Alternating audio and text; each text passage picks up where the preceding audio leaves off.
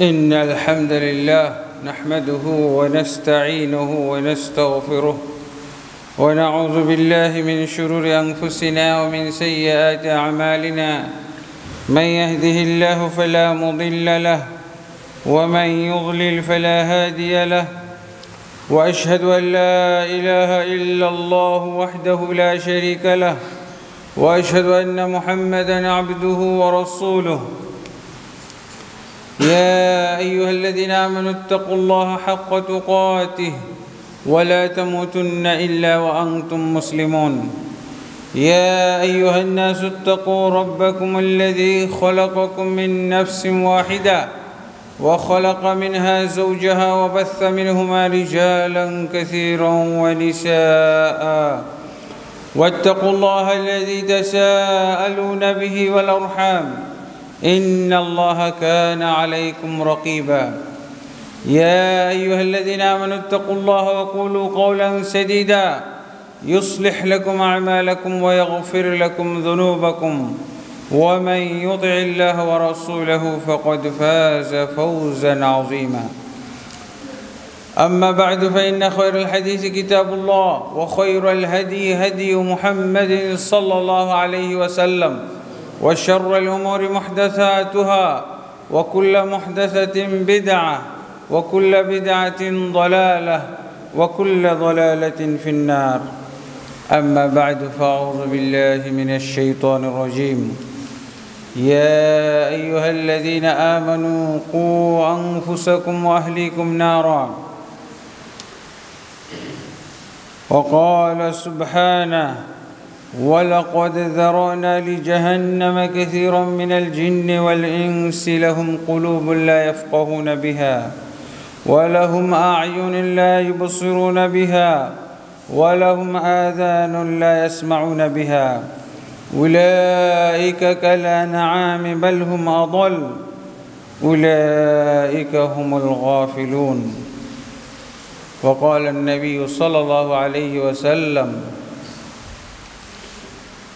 حفت حفت الجنة بالمكاره وحفت النار بالشهوات رواه الترمذي عن أنس رضي الله عنه الحمد لله আল্লাহ তবরকতলা অসংখ্য অগণিত তারিফাত গণগান এবং শুক্রিয়া যে আল্লাহ তবরকতলা আমাদেরকে আজকে এই পবিত্র জুমার দিনে জুমার সালাত আদায় করার জন্যে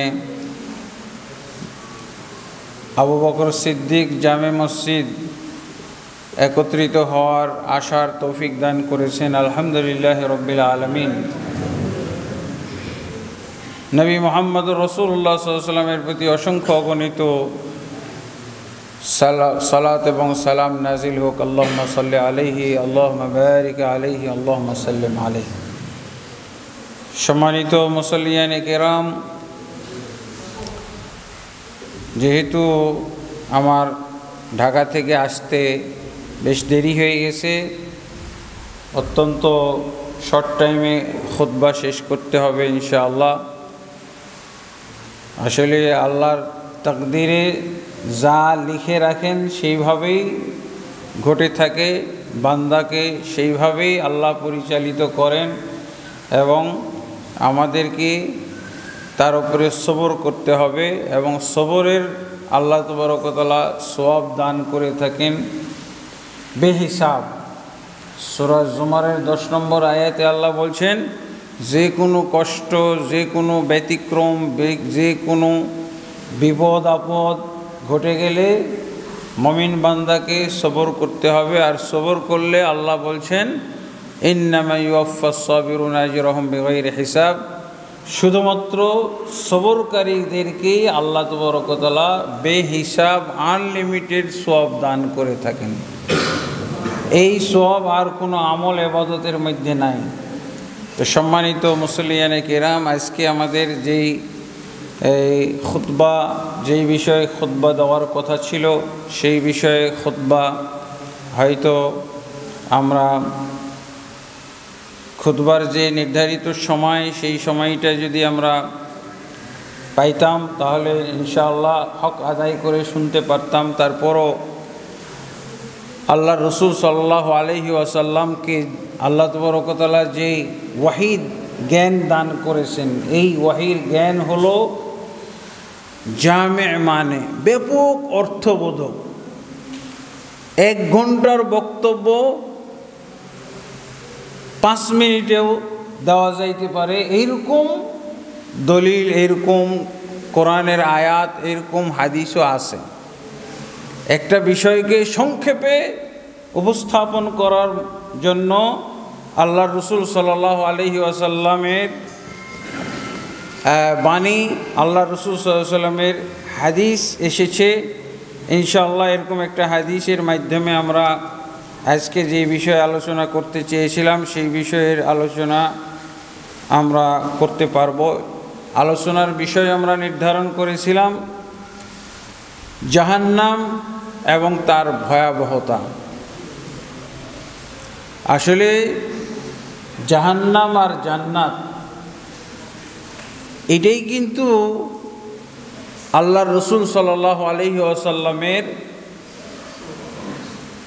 হাতের মানে প্রধান হাতিয়ার ছিল। এই হাতিয়ার বা আল্লাহ রসুল সাল্লাহ আলহি আসাল্লাম বান্দাদের জন্য আল্লাহ তবরকতলা যে পরকালে চূড়ান্ত পুরস্কার, জান্নাত আর চূড়ান্ত শাস্তি, জাহান্নামের যে কথা,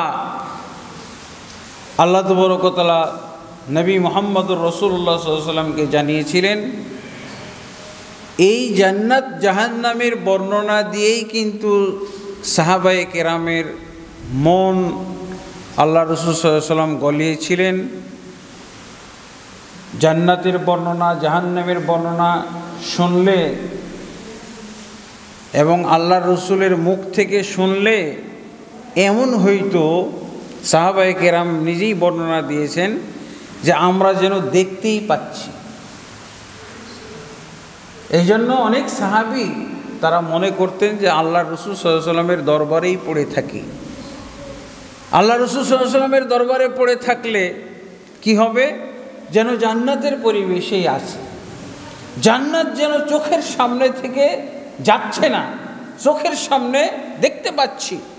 আর জাহান্নাম জাহান্নামও যেন চোখের সামনে দেখতে পাইতাম এরকম শব্দ ব্যবহার করেছেন হানজালা রদি আল্লাহ আনহু عندما كنا عند رسول الله صلى الله عليه وسلم كأن الجنة والنار رأي عين যখন আমরা আল্লাহ রসুল সাল্লামের কাছে থাকতাম তখন আল্লাহ রসুল সাল্লামের বর্ণনার মাধ্যমে আল্লাহ রসুল সাল্লাহ আলহি আসাল্লামের বিশ্লেষণের মাধ্যমে জান্নাতটাকে আল্লাহ রসুল সাল্লাম এমনভাবে আমাদের কাছে উপস্থাপন করতেন যেন আমরা দেখতে পাচ্ছি। আইন। জাহান্নামের যখন বর্ণনা দিতেন তখন আমরা মনে করতাম জাহান্নাম দেখতে পাচ্ছি। এবং কিছু কিছু সাহাবি তো অহুদের প্রান্তরে জান্নাতের সুগন্ধি পেয়েছিলেন, যার জন্য তিনি ছুটে যাচ্ছিলেন, শুধু দৌড়াচ্ছেন দৌড়াচ্ছেন। কাফেরদের পিছনে একাই ধাওয়া করে ছুটে চলেছেন। রহুদের যুদ্ধে আমরা জানি যে এটা তিনটা পর্ব হয়েছিল পাল্টাপাল্টি প্রথমে মুসলমানরা বিজয় লাভ করে, এরপরে দ্বিতীয় পর্যায়ে কাফেররা, এরপরে তৃতীয় পর্যায়ে আবার মুসলমানরা বিজয় লাভ করে। তো যখন মাঝখানে মুসলমানরা হেরে গেল, আল্লাহ রসুল সাল্লাহ সাল্লাম আহত হলেন। আল্লাহ রসুল সাল্লাহ সাল্লামকে এমনভাবে তারা প্রহর করেছিল আঘাত করেছিল যে রসুল্লাহ সাল্লাম অচেতন হয়ে গেছিলেন, বেহুশ হয়ে গেছিলেন এবং তারা এই সুযোগে প্রচার করে ফেলেছিল যে আমরা মোহাম্মদকে হত্যা করেছি সাল্লাহ আলী সাল্লাম তখন এক সাহাবি বললেন, মুতু আলামা মাতা রসুলিল্লাহ, তোমরা বসে থেকে কি করছ? যার জন্য, যেই দিনের জন্য, যেই ইসলামের জন্য, যেই তৌহিদের জন্য আল্লাহর রসুলের মতো প্রাণ চলে গেল, তিনি জীবন বিসর্জন দিলেন মৃত্যুবরণ করলেন, তোমাদের জীবনের কি মূল্য আছে? মতো আলামা মাতা রসুল্লাহাম যার জন্য রসুল মারা গেলেন, তার জন্য এখন মরে যাওয়াটাই ধন্য। মরে যাওয়াটাই সার্থকতা। এর মধ্যেই আমরা আমাদের সার্থকতা পাবো। ঝাঁপিয়ে পড়লেন এক সাহাবি। দৌড়ে যাচ্ছেন কাফেরদের পিছনে। এই কাফেররাই রসুল সাল্লামকে মেরে গেল। তখন আর এক সাহাবি পিছন দিক থেকে ডাকছে। তখন উনি জবাব দিচ্ছেন কি, খবরদার আমাকে পিছন দিকে ডেকো না।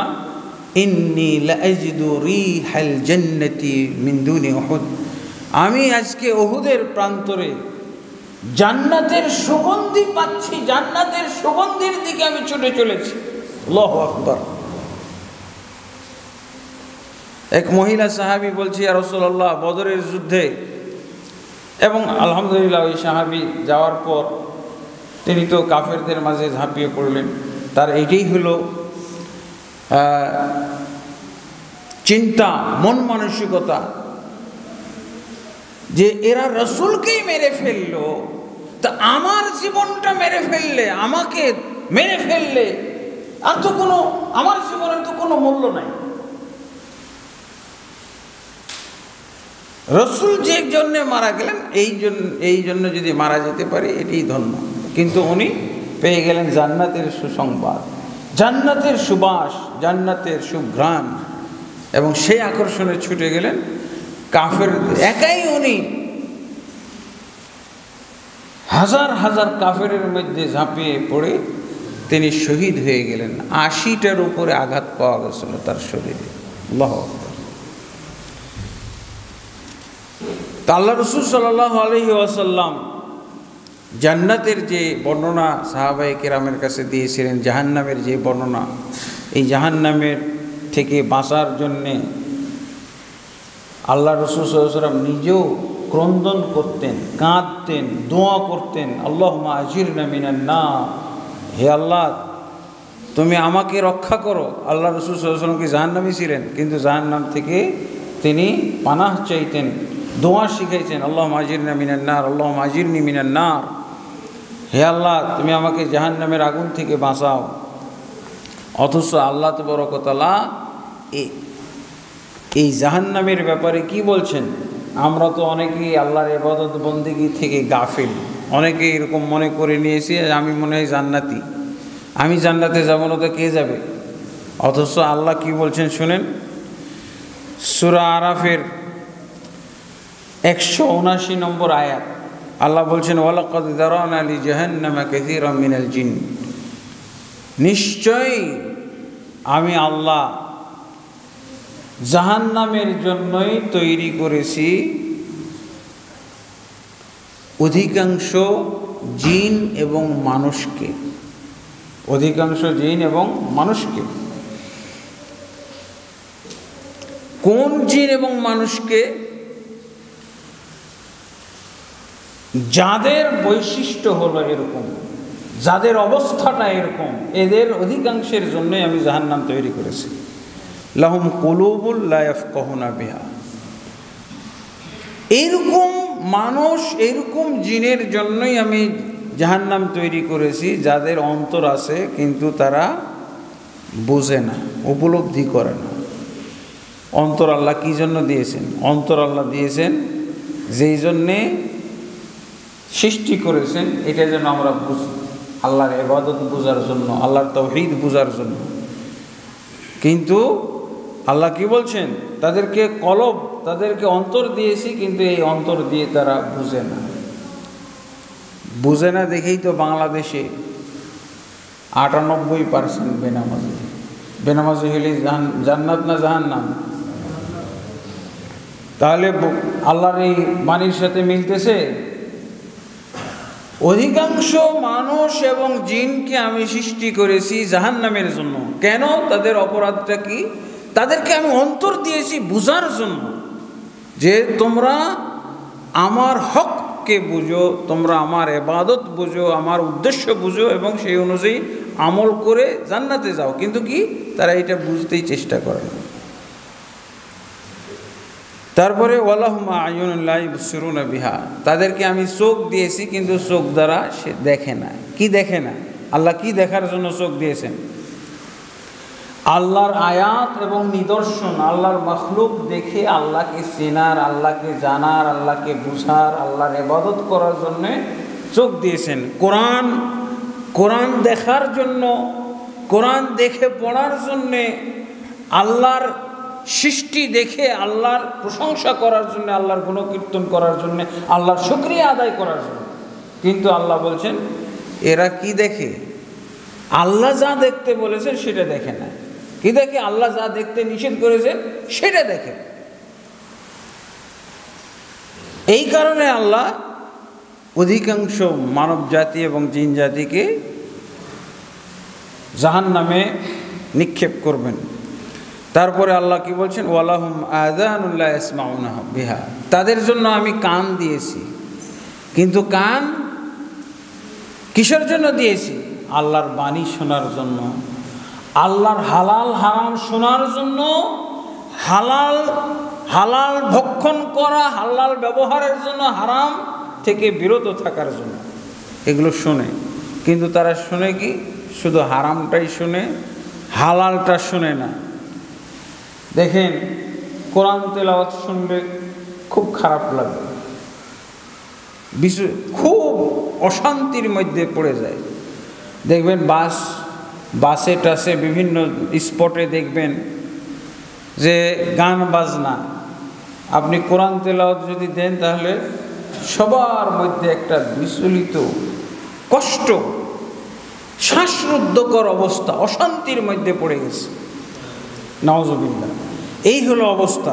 তা আল্লাহ বলছেন ওলাহম আজানুল্লাহ ইসমাউনা বিহা। এদেরকে আমি কান দিয়েছি, কিন্তু এই কান দিয়ে আল্লাহর কালাম শুনবে না। আল্লাহর পক্ষে যে দাওয়াতকারীরা দাওয়াত দিচ্ছে, সেই দাওয়াত তারা শুনবে না। এই যে জুমার দিন, খোতবা বা এই যে বক্তব্য, দিনের কথাগুলো শোনা ফরজ করে দিয়েছে। ওয়াজ মাহফিল হলো নফল।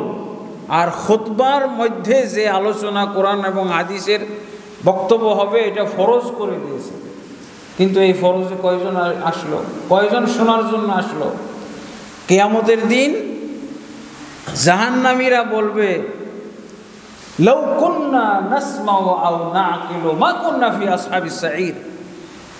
হাই হাই যদি দুনিয়াতে আমরা শুনতাম আল্লাহর কালাম শুনতাম আল্লাহর কোরআনের বাণী শুনতাম বক্তব্য শুনতাম হালাল হারাম শুনতাম এবং মানতাম এবং উপলব্ধি করতাম। মা কন্যাফি আসহাবি সাঈদ, তাহলে আজকে এই জাহান নামে আসতে হইতো না। না শোনার জন্য, না বোঝার জন্য জাহান নামে যাইতে হবে, এটা তারা শিখে জাহান নামে যাবে এবং তারা এটাই স্বীকার করবে। তো এই জাহান্নাম সম্পর্কে আল্লাহ স্পষ্ট বলে দিলেন যে অধিকাংশ জিন এবং মানব জাতির জন্য আল্লাহ এই জাহান্নাম তৈরি করেছেন। আর কোন ধরনের জিন জাতি এবং মানব জাতি যাদের এই অবস্থা অন্তর দিয়ে বুঝতেছে না, তারপরে তারা চোখ দিয়ে দেখতেছে না, চোখ থেকেও তারা অন্ধের মতো তাদের কান আল্লাহ দিয়েছেন, কিন্তু তারপরও তারা বধির। হক কথা শোনে না, আল্লাহর কালাম শোনে না, আল্লাহর কালামের বক্তব্য শোনে না এদের জন্য। তারপরে আল্লাহ এই ধরনের প্রথমে তো বললেন আয়াতের শুরুতে জিন এবং ইনসান। আর দেখেন, যারা এরকম হবে তাদেরকে আল্লাহ কি বলছেন? বলহম আবল এরা হচ্ছে উলায়কে কালে আনাম, এরা হচ্ছে চতুষ্পদ জন্তুর মতো। যাদের অন্তর আছে কিন্তু তারা উপলব্ধি করে না, যাদের চোখ আছে কিন্তু দেখে না, যাদের কান আছে কিন্তু তারা শোনে না। এরা হলো চতুষ্পদ জন্তুর মতো। তারপর আল্লাহ বলছেন বালহুম আদল বরং তার চেয়েও বেশি বিভ্রান্ত, তার চেয়েও বেশি এরা গুমরাহ। আল্লাহ তো চতুষ্পদ জন্তু সম্পর্কে বলেছেন যে তারাও আল্লাহর গুণগান করে, তারাও আল্লাহর তসবিহ পড়ে, তারাও আল্লাহর এবাদত করে। এই জন্য বলছেন, এরা চতুষ্পদ জন্তুর চেয়েও খারাপ, বরং তার চেয়েও জঘন্য, তার চেয়েও বেশি বিভ্রান্ত। উলায়িকা হুমুল গাফিলুন। এদেরকেই আল্লাহর ভাষায় বলা হবে গাফিল, উদাসীন। গাফিল। তো আল্লাহ তবরকতলা জাহান্নাম সম্পর্কে যে আমাদের বর্ণনা দিলেন, এই জাহান্নাম অনেক নরাধম, অনেক হতভাগা মুসলমান হয়ে তারা বুঝে না যাহার নাম কি। একজন বাংলাদেশের জেনারেল শিক্ষিত ডাক্তার, সে নাস্তিক হয়ে যাওয়ার পর বলতেছে যে, মলবিরা তো জান্নাত আর জাহান্নামের কথা বলে। জান্নাত নাকি সুখ, খুব সুখের জায়গা জাহান্নাম হলো অশান্তির জায়গা, শাস্তির জায়গা। অথচ এই মোল্লা মনীষীরা তো দেখেই নাই জান্নাত কি আর জাহান্নাম কি। এমনও তো হইতে পারে, আমরা দুনিয়াতেও ভোগ বিলাস করতেছি হ্যাঁ? আরাম আয়েস ভোগ, বিলাস, আনন্দ, ফুর্তির মধ্যে আসি আর বলতেছে যে জাহান নামে যাবে। জাহান নামেও হয়তো বা এরকম ভোগ বিলাসই করব। তখন এরা আফসোস করবে যে দুনিয়া তো আমরা হারাইলাম আর মরার পরও হারাইলাম নওয়াজবিল্লা তাহলে কত অজ্ঞতা। অথচ আল্লাহ রসুল সাল্লামের একটি হাদিস বলেই আমি শেষ করব খুতবা। এই একটি হাদিসই যথেষ্ট, জান্নাত কি আর জাহান্নাম কি? রসুল্লাহ সাল্লাম বলছেন, কেয়ামতের দিন আল্লাহ তবরকতলা দুনিয়ার মধ্যে সবচেয়ে সুখী ব্যক্তি, সবচেয়ে সুখী ব্যক্তি মানে আদম থেকে কেয়ামতকাল পর্যন্ত যে ব্যক্তি সুখ, শান্তি, আরাম আয়েস ভোগ, বিলাস, আনন্দ, ফুর্তিতে ফার্স্ট হয়েছিল এক নম্বর। একে আল্লাহর তবরকতলা, যারা ধনী হয়, যারা এত পয়সা হলো ওরা কিন্তু জান্নাতের জান্নাতের কাজ করে না। সাধারণত আমরা দেখি। তো এর বেলায় তাই হয়েছে। পৃথিবীর মধ্যে ফার্স্ট হয়েছে সুখ শান্তির দিক দিয়ে। হয়তো এই লোকের এখনও জন্ম হয়নি। হ্যাঁ? ফার্স্ট যে হবে, তা আল্লাহ তোমার কতলা এই লোকটাকে উপস্থিত করবেন। তারপরে ফিরিস্তাদেরকে বলবে যে, একে জাহান নামে একটু চুবানি দাও। জাহান নামে একটা চুবানি দিয়ে উঠাই নিয়ে আসো। এর অনুভূতি শুনব। তো জাহান নামে পৃথিবীর মধ্যে এক নম্বর হয়েছিল। হয়তো সুখী মানুষ, হয়তো পাঁচশো কোটি থাকতে পারে। পাঁচশো কোটির মধ্যে এক নম্বর হয়েছে। এই লোকটাকে আল্লাহ কি করবেন? জাহান নামের মধ্যে। জাহান নাম কি বোঝার জন্য এই হাদিসটাই যথেষ্ট। একটু খালি সুবানি দিবে। আমরা ছোটোবেলায় যে কুপি জ্বালাইতো না, আগুনে আঙ্গুল দিতাম, দুষ্টমি করে। আঙ্গুল দিয়ে আবার টেনে দিতাম কিছুই হইতো না। তো এইরকম জাহান নামের আগুনে একটু সুবানি দিয়ে উঠিয়ে নিয়ে আসবে। তারপরে আল্লাহ তাকে জিজ্ঞাসা করবে, এই বান্দা, বলো দেখি তোমার অনুভূতিটা। তুমি জান্নাতে, দুনিয়াতে কেমন সুখ শান্তি করেছে একটু বর্ণনা দাও দেখি। সে কসম করবে